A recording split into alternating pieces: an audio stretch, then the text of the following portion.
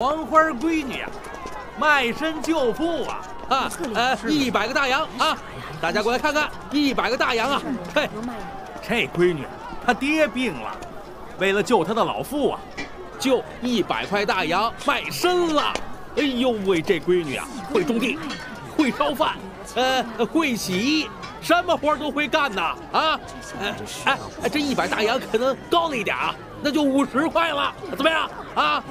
五十块啊！三十块你卖三十，自己都养活不起了。哎呦，这位先生，您看您呐，就是有钱人，帮帮忙吧！这闺女啊，你让她干什么活都能干呐！啊，帮帮忙，怎么样？多少钱？呃，哎，就五十块吧。好，要买。你数一下。哎呦，我不用数了。哎，过来，过来，过来。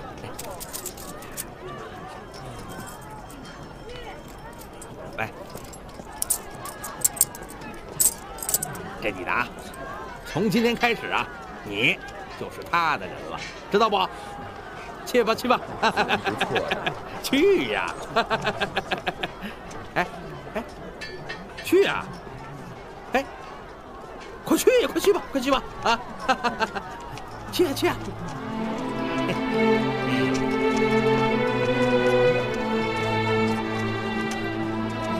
猪 回乡下安顿好了生病的父亲，就寻找他的救命恩人。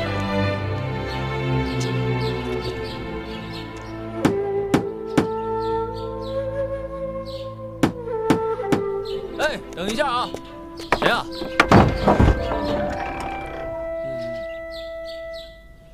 姑娘，你是？邱先生，我是喜珠。哦，我想起来了，你这一收拾啊，变化还挺大，我差一点认不出了。邱先生，谢谢你那天帮了我。啊，没事没事。哎，来，哎，进来说话。好。爹。哎。来来来来。这是，啊爹，他叫喜珠，不是上回跟您说过吗？他没钱，卖身救父。他给父亲送钱治病以后啊，感谢咱来了。邱先生，我是来伺候您的。哎，姑娘，您可千万别这么说话。我上次出钱买你呢，不是买你的人，我是想帮助你，让你给父亲治病的。我没有别的意思啊，你可千万别这么说。我懂，可我就是想报答您。哎呀，爹，你跟他说，怎么回事啊？啥咋回事？孩子，你的情我们邱家领了，你还是回去吧。